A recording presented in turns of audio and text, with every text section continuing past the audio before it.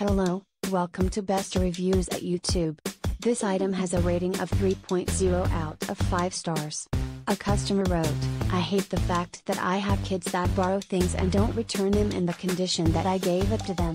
This really gets me upset and some disciplining is in order.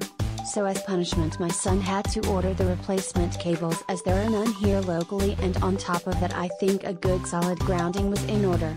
But as for the product, it works just like my old cable, and came in reasonable time. No complaints to say about the product or the vendor, now if my kids only were as reliable. Thank you for watching. Please give the thumbs up.